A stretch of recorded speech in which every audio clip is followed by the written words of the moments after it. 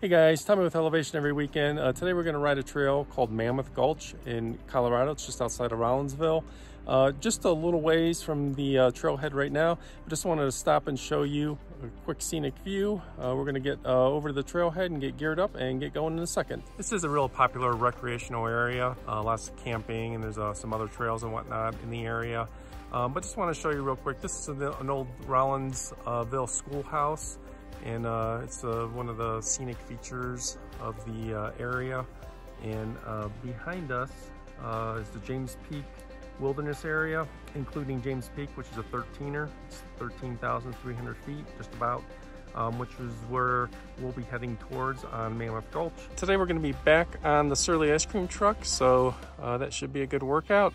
according to my Garmin, we're starting at a little over 9,000 feet right now, and I know uh, the trail goes well above tree line, which in Colorado is 11, about 11,000 feet. Uh, so it's definitely gonna be a hard day of climbing, uh, but we're gonna get it going. I know this, I have ridden this trail in part on my full suspension bike a couple years ago. I do remember it being pretty steep, uh, pretty chunky in places, but it is a four by four type trail. You can do it on you know, pretty much any high clearance vehicle and uh, there are tougher spots where you definitely want uh, something uh, more capable, but it's definitely a steeper trail. It's not railroad grade like uh, some of the other trails in the area uh, and that I've featured on this channel. So we're gonna get uh, get the bike put together, get geared up and get, get rolling.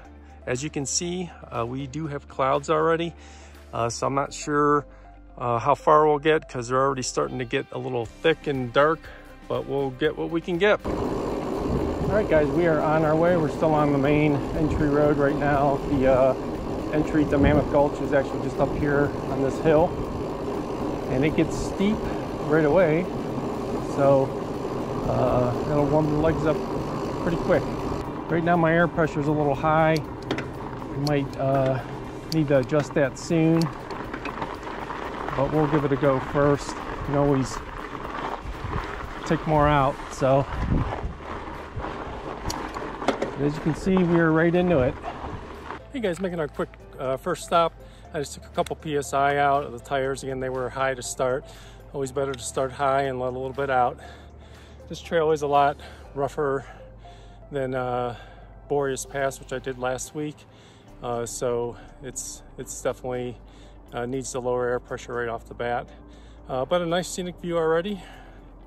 We'll turn it around here in just a second so you can see. So there's the view.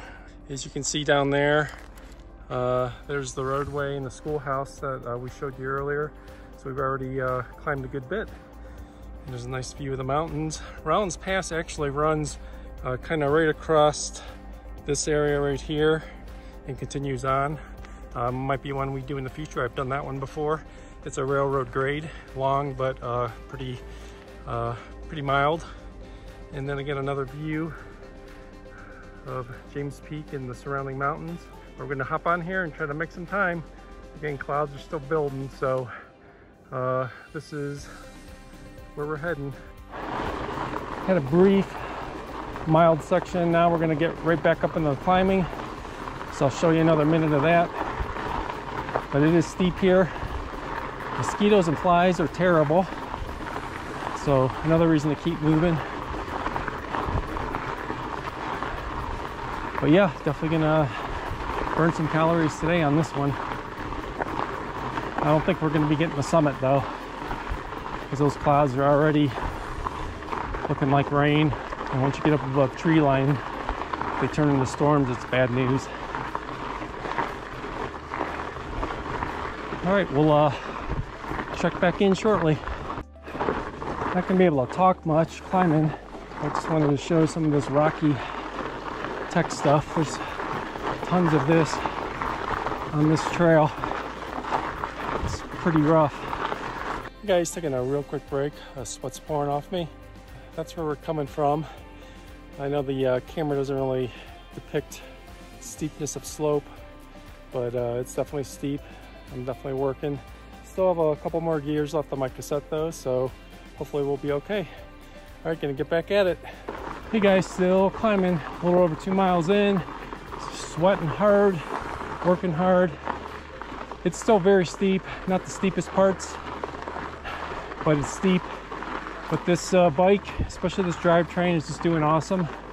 I'm still not in my uh, biggest gear, which is that 51 tooth on the 1x12 Shimano SLX. I think the gear I'm in now is a 45. It's doing the job. So we're gonna keep at it. According to my Garmin, we're over 10,000 feet.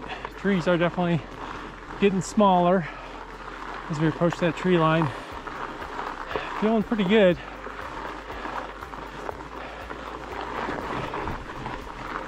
It's uh, one of the things I've always found in all my years of riding at elevation, especially hiking big mountains, 14ers. I seem to always struggle the most in that first 30 to 60 minutes. And it seems like I settle in, my system adapts to the elevation, and I find a decent groove. And right now, that's where we're at. I'm gonna stop here in a second give you a stunning view. All right guys, taking a quick break and just wanted to check out this view uh, before we get back at it. Uh, fortunately it's not windy and I guess one benefit to the cloud cover is it'd probably be uh, 10 or 15 degrees warmer if the sun was blazing down on me. As it is, it's warm and humid and I'm sweating pretty good so that's the upside. Unfortunately, uh, if the clouds keep coming, it's probably gonna cut us short, but I'm gonna spin you around here and give you a better view of this uh, scenery because it's uh, pretty stunning. And here it is. That's where we just came from.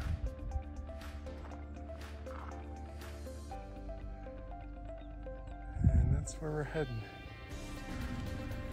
All right, we're gonna saddle up and get, get going again. Bike is working really well. Still haven't hit that big gear in the back yet. So hopefully uh, we won't need it, but if we do, I know there's some really steep stuff further up. That was pretty much unrideable for me last time on my full suspension bike, but I wasn't quite in the shape I'm in now, and that bike is a 1x11 so it doesn't have quite the range that this bike has so or the traction. I actually did a video several weeks ago about this bike and how well it climbs. Uh, I'll definitely link that down below and at the end screen but this bike is actually an epic climber due to the insane amount of traction you get and the gear the gear range on this 1x12 it's a great combination. Not going to be a fast climber, but it will do it. And it'll climb where a lot of other bikes either run out of gear or the gear overpowers the traction due to smaller tires. Okay, back to work.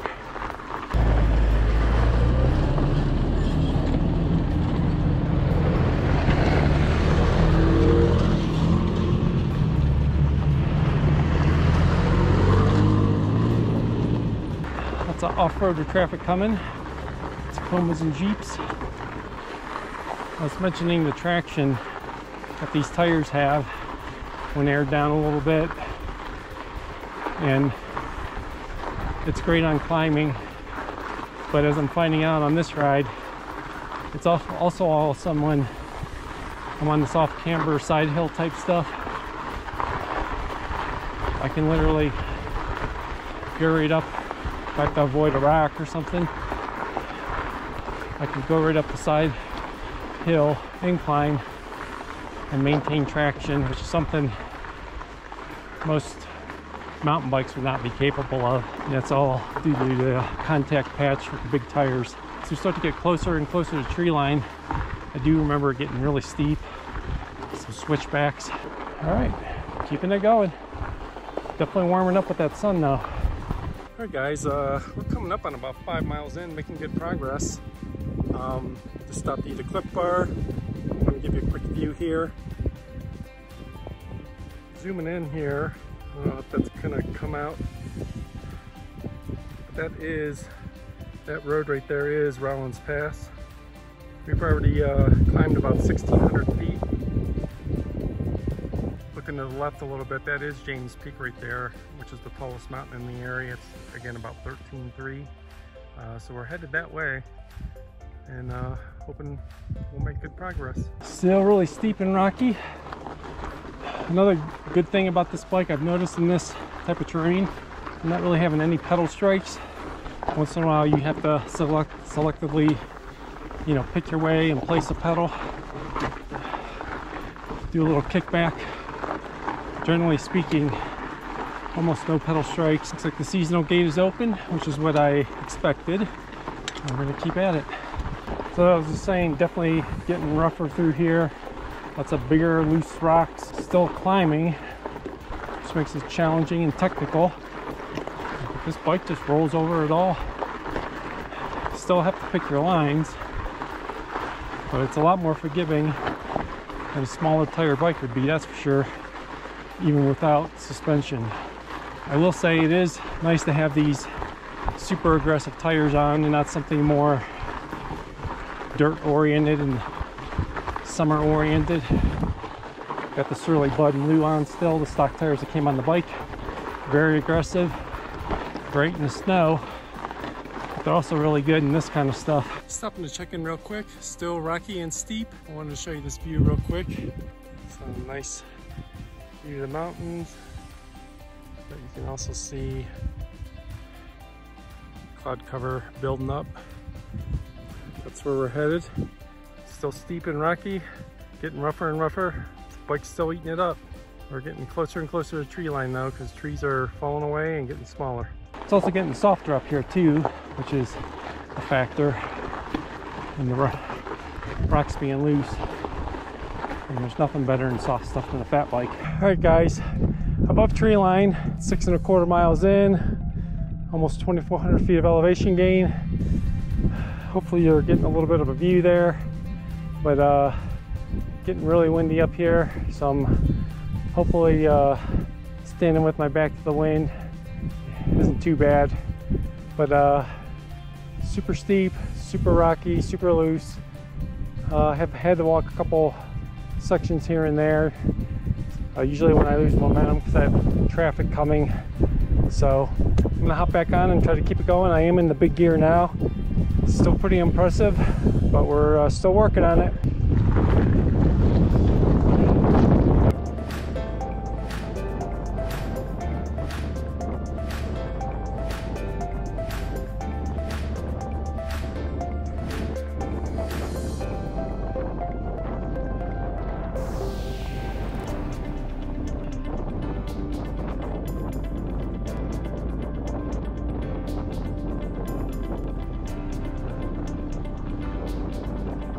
Got a brief shield from the wind, so I figured I'd stop real quick just to talk. Uh, it's definitely beautiful up here. That's where we just came from. Getting darker and darker that way. Still have some pretty nice views. This is where we're heading, and around that corner, there's a switchback, if you can call it that but it's a big steep long grade. Uh, this is uh, the furthest I've been on this trail so I'm not really sure what to expect beyond this point. Uh, but we're gonna try to keep going. Uh, ice cream truck is still killing it.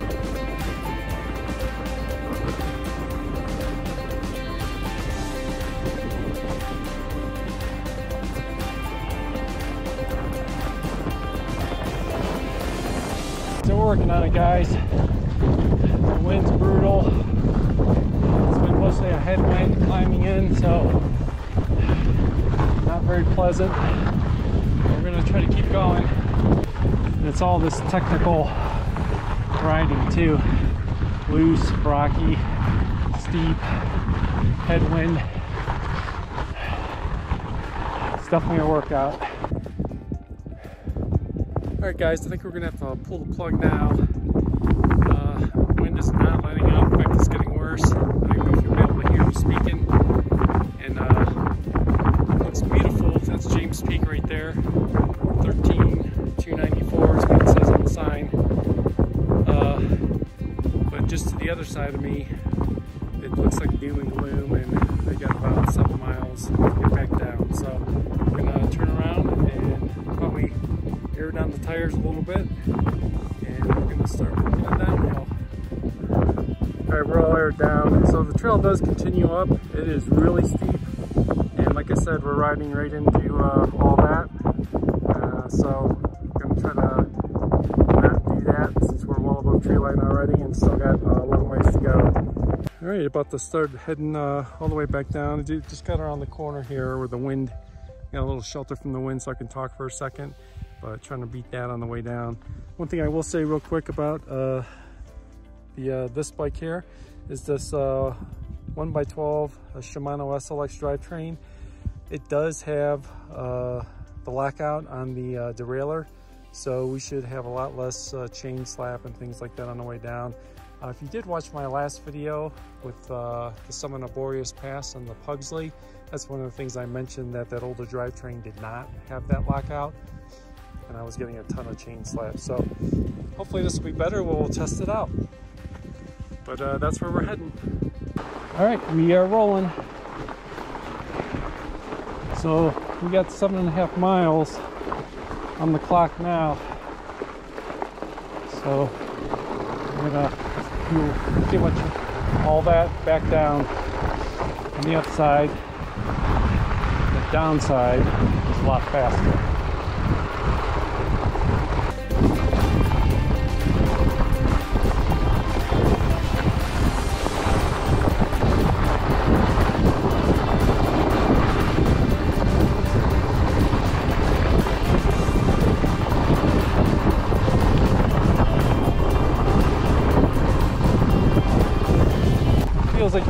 Behind me a little bit at least.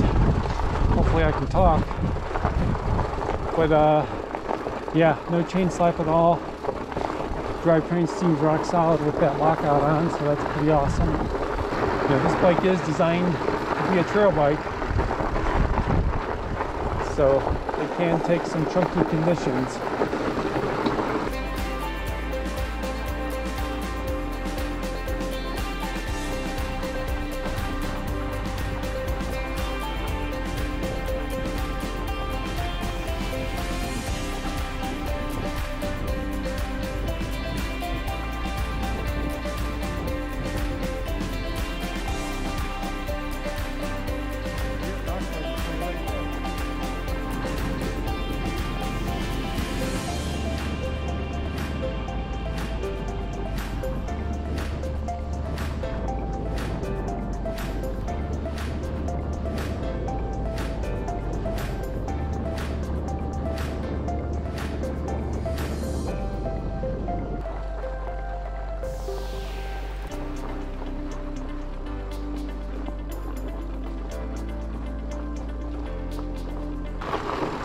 Progress. One of these days, come back up here. I want to see where that one goes.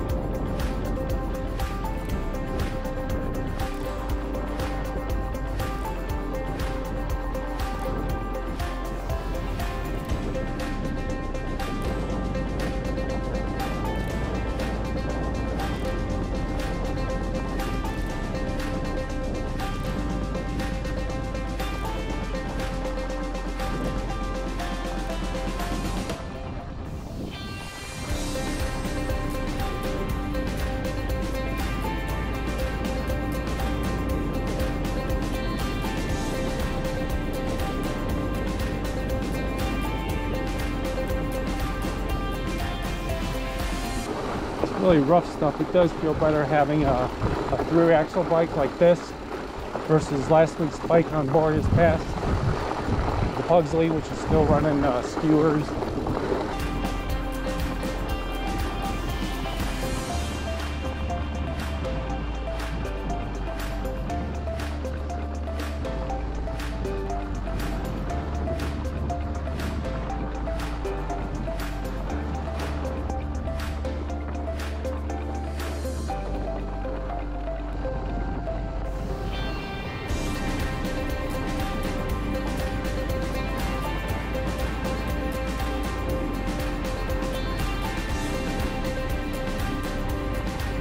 right, guys, last little bit here before we get back to the truck.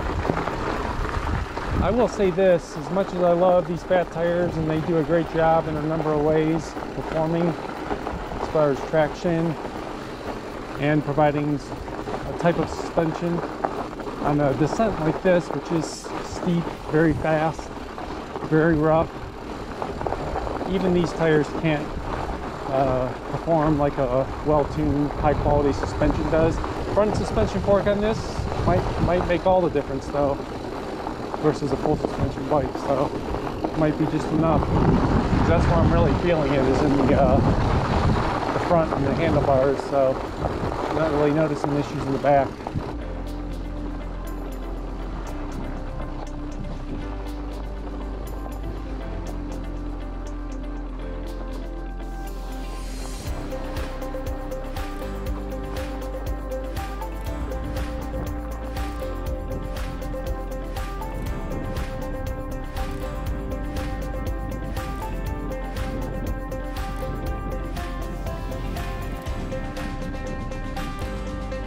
All right, guys, loaded up and rolling out. So uh, if you made it this far in the video, thanks for taking the time to watch. And uh, if you have any questions or comments, leave them down, down below. I always respond to all my comments. And uh, if you want to keep following um, my fat biking and uh, my uh, high elevation series that I seem to have going on, uh, like I said, please subscribe to the channel. It really helps out the channel. thank you very much and have a great day.